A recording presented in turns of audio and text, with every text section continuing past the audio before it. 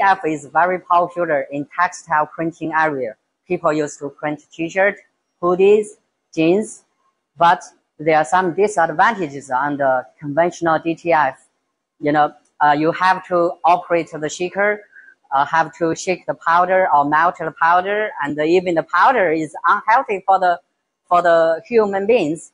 So uh, some of our, uh, some of our customers even complain about the permeability of the of the conventional DTF, such as this one is printed by the conventional DTF printer. They always complain the permeability. You can check because some of our customer comes from come from Africa, some hot area. They have some sweating issues. They complain about this because of the thickness of the conventional DTF.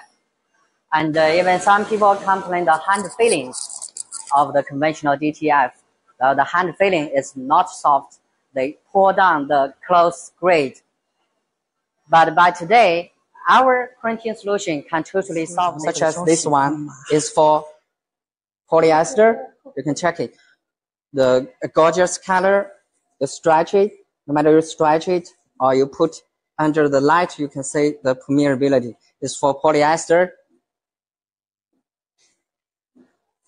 And uh, this is the cotton. The cotton.